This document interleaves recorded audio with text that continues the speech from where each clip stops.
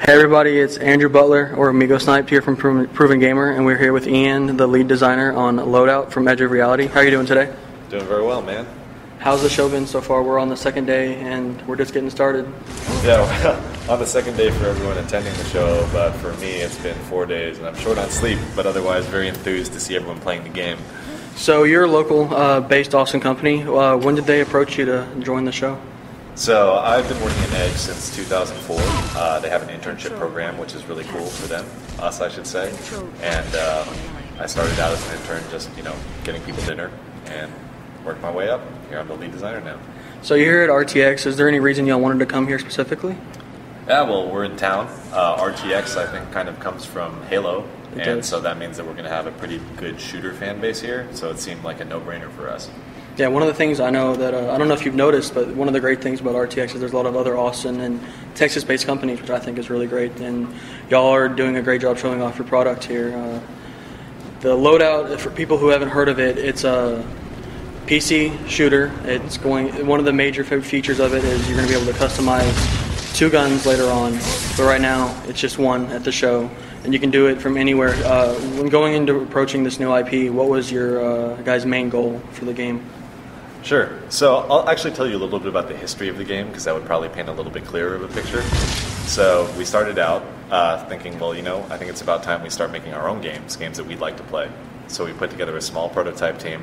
We tried out a whole bunch of different game concepts, and uh, we ended up on a third-person shooter that featured like fast-paced shooting and a bit more of a platforming component than most other shooters you see today. And then after that, we were like, all right, well, this is a really solid shooter. We need to add a little bit more depth and player progression to the game. And so we tried out more concepts and we landed on weapon crafting. Weapon crafting turned out to be a big success for us.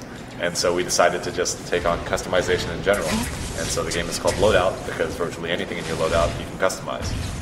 So going into the release of this game, which y'all don't have a release date yet, do y'all? Uh, we don't have a formal release date because, much like other free to play online titles, we're just going to release the game in stages. Yeah. Uh, the first stage is going to be our closed beta stage, which will probably happen in the next two weeks.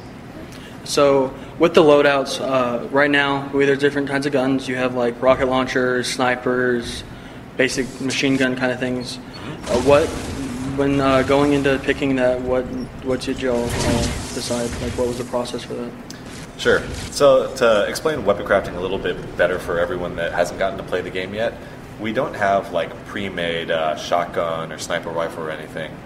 All of the weapons in our game are made by a series of interchangeable parts that can be mixed and matched. So, you can make a, ga- a gun that fires like a sniper rifle, but then you can add all these modifications to it. So, let's take a basic rocket launcher. Obviously, you can make that in our game, but then you can attach a different payload to it. So then your rocket launcher shoots out fire instead of regular damage.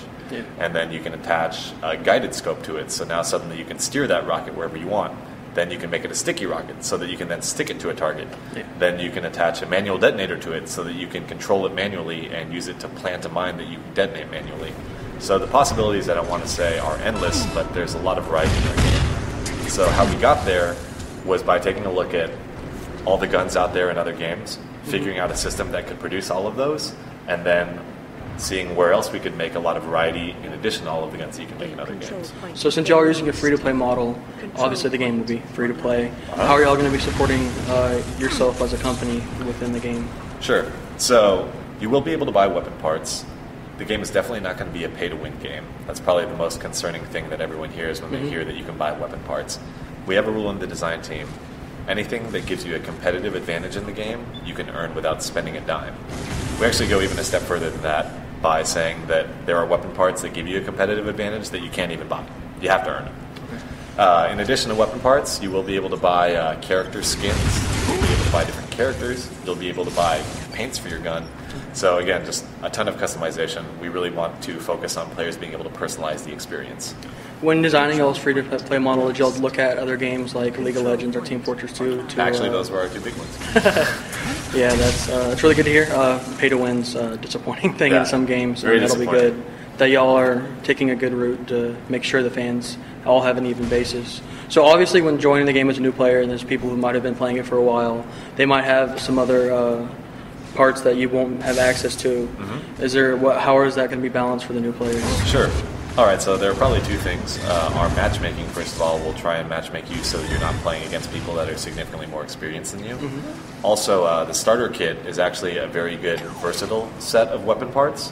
So, with the starter kit, you'll be able to take on anyone one on one. Okay. You probably won't be able to do some of the more bizarre strategies, but you'll definitely be able to do, like, you'll be able to play any basic strategy very competently with the starter kit.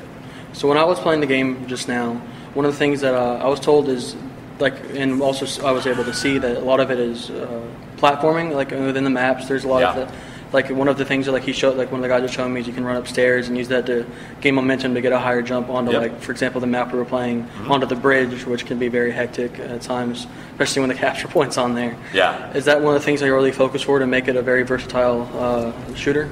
Yeah, uh, again, platforming was something that we definitely intended to focus on with our shooting because we wanted to make something that you, I don't want to say don't see very often, but it's kind of a shout out or love letter to old school shooter fans.